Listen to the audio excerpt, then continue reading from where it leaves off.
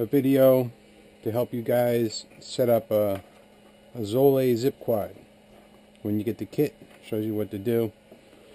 Um, have a couple different designs. This is a 3D printed quadcopter that uh, I didn't design, but we print and sell. Uh, I'm going to be making some changes to that. Be an updated version of that soon. This is the uh, first Xole design with a center section. Looks like this. It's a minimal weight. This is probably the lightest 330 millimeter quadcopter out there. Extremely fast, extremely agile. Uses the clamp-on motors, but we're going to move away from that because these motors don't do well in a crash and the shafts bend.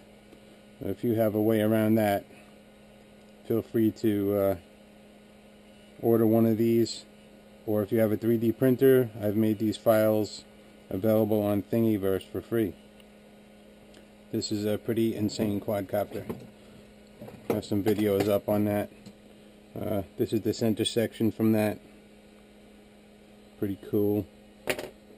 These are some of the motor pods from the one we're going to be installing today. If you buy one of those kits you're going to get this stuff here this is with the uh, this intersection with these motor pods. This is printed in T-Glase which is a PET plastic uh, which is the same plastic they use on water bottles. Very strong probably four times or more stronger than ABS plastic. This is ABS printed here. This is clear ABS and probably seven, eight times stronger than PLA. So, but we're not going to be using one of those center sections today. this uh, here was an experiment printing in uh, polycarbonate. This is super strong. I mean, you just put this in a vise and it does not break. It's very hard. So once I figure out that method of printing these out, very tough to do this without warping.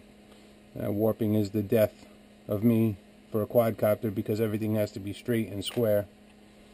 This is a nylon printed, also super strong. Pretty much got that method down, but nylon's very slippery. and It's very hard to clamp to carbon with nylon. So for now we're just uh, using the PET plastic. Let's see. These are both uh, PET I believe.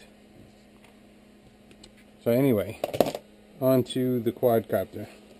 This was, uh, I've designed a new center section to hold everything together. And uh, what I've done is made these holes slightly smaller because carbon arrows come in different uh, diameters. So I left a little room for you to play with and drill out, get the appropriate drill bit. See, this one's a little tight, it won't go in there. What we're going to do is we're going to drill that out. And we're going to cut our carbon arrows uh, the fun thing about this design is you can kind of tailor the arms to whatever you want. You can buy one of these arrows for five, six bucks a piece.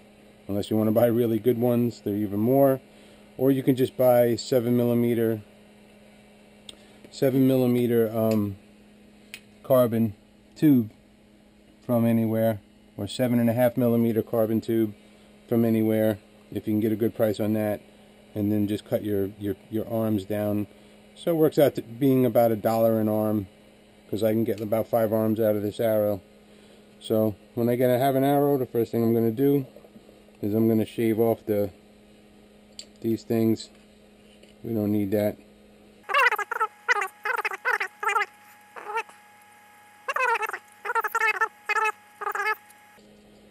And when you cut carbon, you want to have some kind of dust control, dust mask. Carbon is bad for you. I'm going to use a vacuum cleaner when I cut this. So first thing I'm going to do is mark out my arms. And I'm cutting these at 130 millimeters. So I'm just going to go ahead and mark those. Doesn't have to be exact. You can set it later. 260, 390, 520. So you, as you can see, those are the forearms. I can get a bunch more.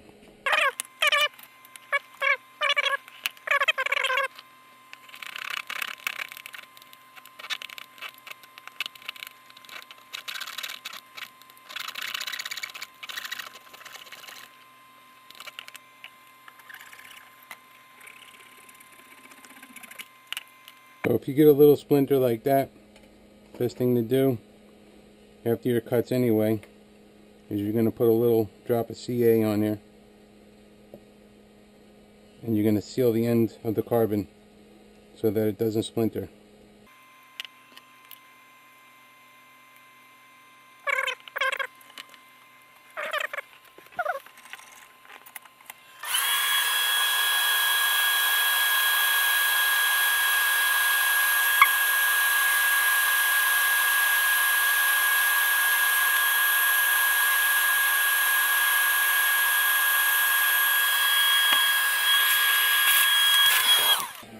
Okay, now you got your forearms. And as I said, you want to uh, seal the ends off. If you want to file these flush, you can. can. You can go ahead and file these flush. There's no need to really. Uh, in the future, I'm probably going to be providing a source for the arms already pre-cut. I'll be cutting them on a wet saw.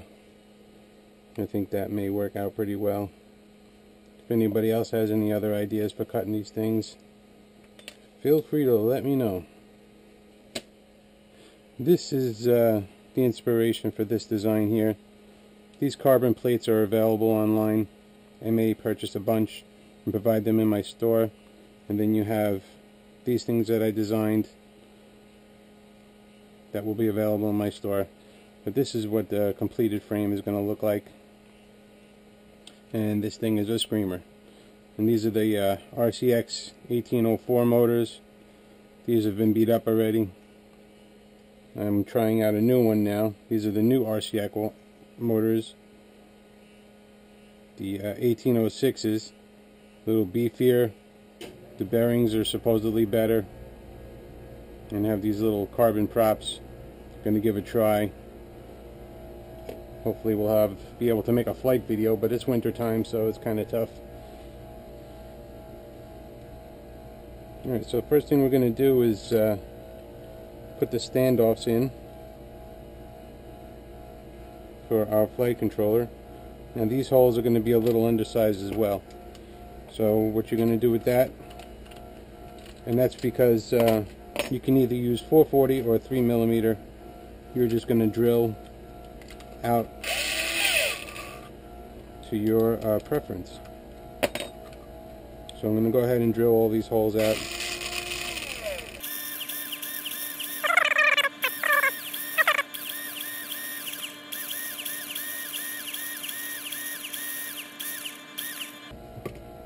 Now these should go right in there, like so. You can order these from Hobby King put some links in the description.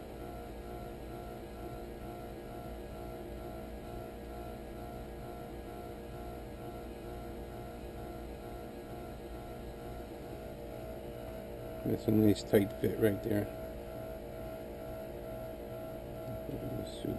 Clear. It does. We're going to have to nip those off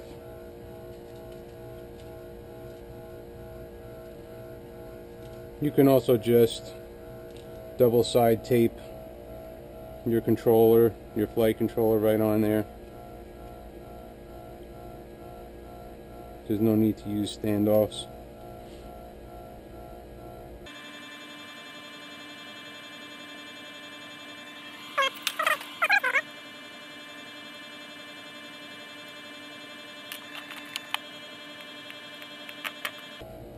Okay, so now this will take a standard flight controller right there like that. And this will get mounted over here like this if you want, or wherever you want to put it. Now just use a nylon nut. It's going to have to be cut to size. Like that. That's the uh, CCD controller, copter control, open pilot. Uh, haven't tried one of these yet for acrobatics. Should work fine. I've been using the uh, Pro Flip or the Flip 32 from Witespy. Alright. Now we're going to set up our bolts. Now I'm using uh, aluminum hardware. This was special ordered here. I went with the aluminum to try and save weight. Although regular steel 440 3, 3 millimeter will work fine. And before we do that, we're going to go ahead and just drill out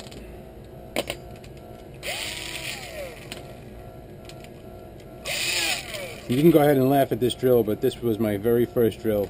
This was from the 80s. The battery died in it, so I just hooked it into an A123 pack. Good stuff. So, so before that wasn't, uh, didn't fit. Now it should fit perfectly. May have to ream it out a little bit.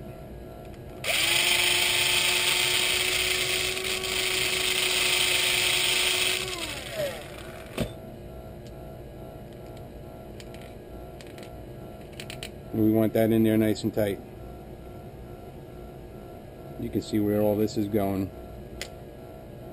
Maybe put a drop of lube on there.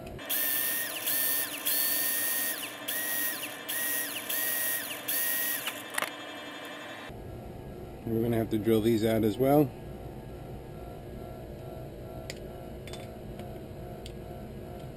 So let's go ahead and get our bolts started. Alright, we got some aluminum 440 hardware here. You can use 3 millimeter, but the aluminum is uh, much more expensive in 3 millimeter, and there's practically no difference.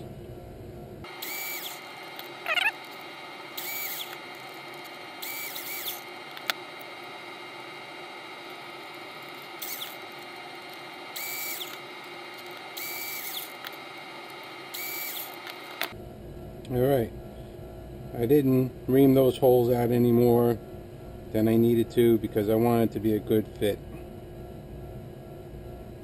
So now we're going to go ahead and tighten these up a little bit. Just bring the nut down till it's snug because we're going to ream out these holes as well.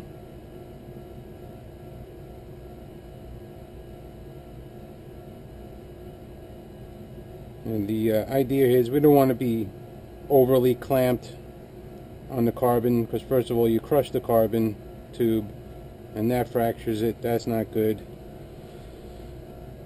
And we want a little bit of uh, freedom in the movement. In a crash, it'll give away a little bit.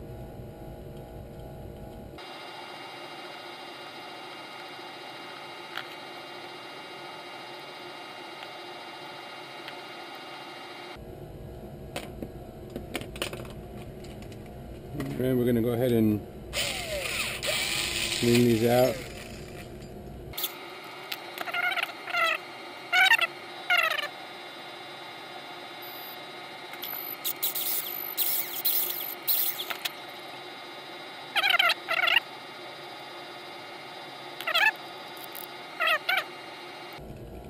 The purpose of this design really is to have the uh, booms as the weaker point.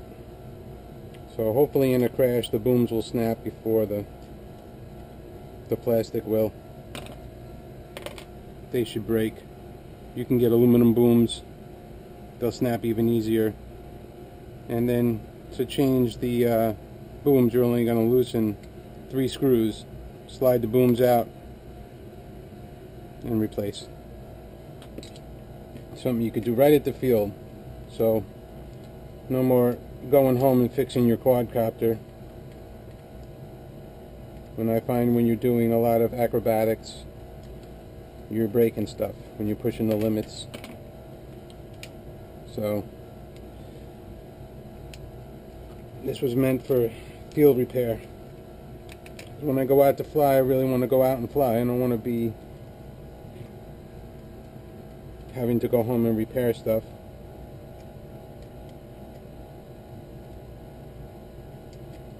It's not that I crash a lot, but They do crash quite a bit. If you ain't crashing, you're not trying.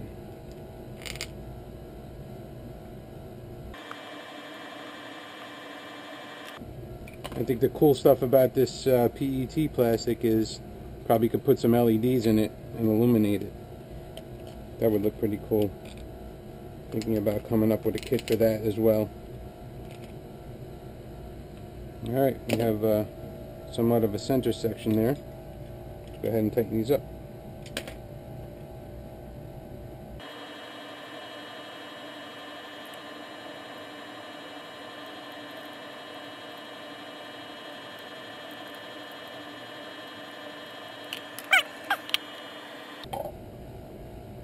Fifty grams so far. Alright, next we're going to do these. Yes, I printed this vise.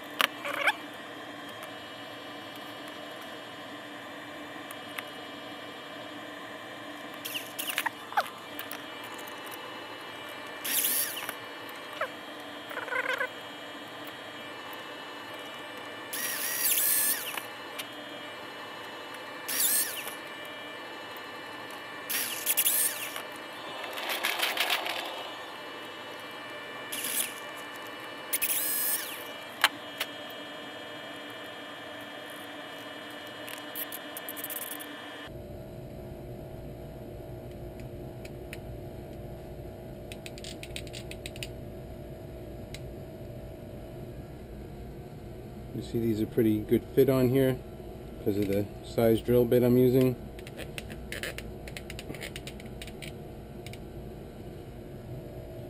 And I want them to be loose.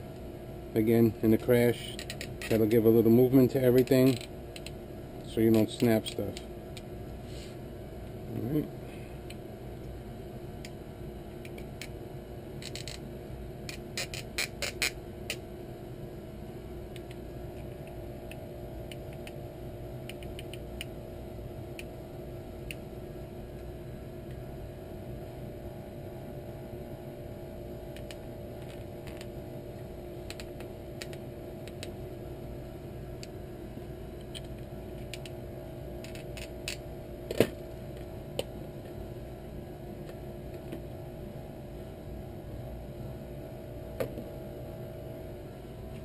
Okay. Screw in here and on here. I'm actually going to use a washer.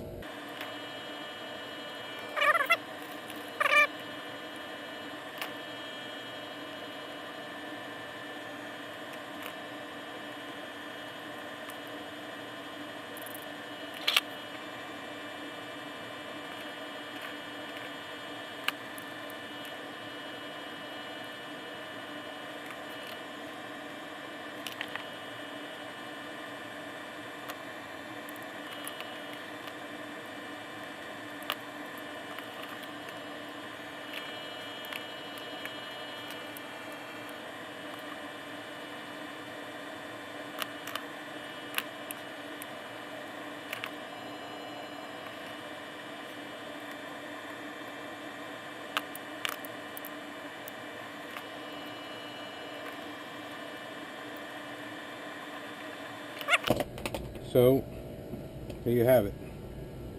One completed quadcopter. All up weight of the frame alone, 81 grams. Very light. A completed quad with a four cell battery, 334. Doesn't weigh anything. And if you like my designs, going to be uh, making an FPV version of this where it'll be more like an H quad. And again these will be able to be turned forward if you want that racer option. And uh, the next step up I'm going to make a 450 design with uh, either dual or triple booms. Again using uh, easy to find carbon arrows. You can go to your sports shop and pick these up. Most of the times you're just going to break these instead of the frame I'm going to make these frames available all the time. I've been selling them now for quite some time so I'll be here for the long run. Uh, probably going to make this design downloadable on Thingiverse as well. So uh, should something happen you can still download the design and have someone else print it. I'm also going to put this design on uh, Shapeways which will be a lot more expensive but a much more accurate um, build be made on a million dollar machine instead of a thousand dollar machine or whatever. And there you have it. That's how you put one of these together. I hope you enjoyed washing and I hope you enjoy flying. I think once you fly one of these you're going to find just how stiff it is. There's no flex in the arms. When you do a flip it stops on the rail. And I'm going to put a little uh, demonstration at the end of this video to show you uh, some of the tricks that I was doing with it. But I noticed that once I used this design over a design like this where, see these arms? No matter how good you tune your PIDs, if this arm flexes at 1 hertz, well that's what your flight controller is going to react at. Useless. Good for it if you're just hovering around or whatever, doing some FPV, that's fine. But if you want to get into serious acrobatics, when you come out of a flip and those motors stop, you want this thing to stop and there's there's like there's no practically no flex. The amount of flex in this arm doesn't equal the power the thrust output of the motors. So you're going to have almost no flex. And again, when you go like this or this, it's going to stop dead in its tracks. It's going to fly like it's on rails. Uh, there was a lot of considerations designing this. This has been in development for well over a year now. And uh, I think I've designed something pretty good here and useful. Again, a lot of the goals were easy to find components. Uh, hopefully, again, these would break before the plastic. You can get the cheaper aluminum ones. Those will definitely break before the plastic. Uh, I'm sure after a dozen or so crashes, you might need a, a plastic piece or you could just order two kits and have some spares. Again, these can all be changed right on right on in the field. So if I want to change this in the field, I'm going to loosen these three bolts, this bolt, slide your pieces of your boom out, slide the ESC back onto the new boom, and slide it back into position. Leave yourself enough slack so that you can do that. I'm just using rubber bands here to hold the ESCs down because uh, this was made in nylon and nothing sticks to nylon. So I had to use uh, rubber bands. This is PET a double-sided tape would work fine on there. And uh, see if there's anything else I left out here. There was a bunch of there's a whole list of design considerations when I made this. So a lot of thought went into this. Anyway thanks for watching